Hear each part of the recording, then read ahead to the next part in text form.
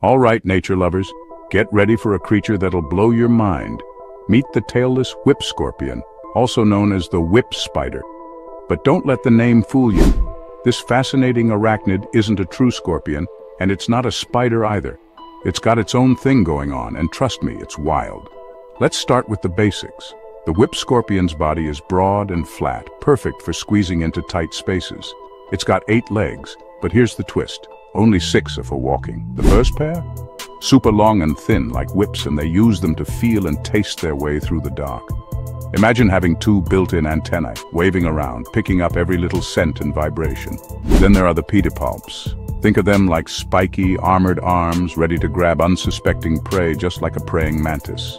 And with up to eight eyes glinting in the dark, this creature is a top-notch night hunter. Whip scorpions can reach an incredible leg span, some over a foot across. But here's the best part.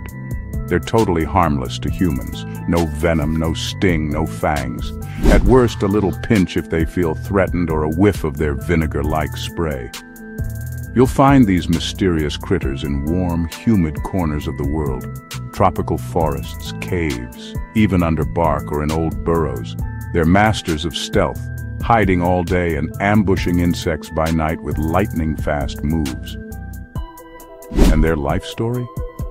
It's got drama, molting upside down, elaborate courtship dances, and devoted mothers carrying their eggs and babies until the little ones are ready to head out on their own.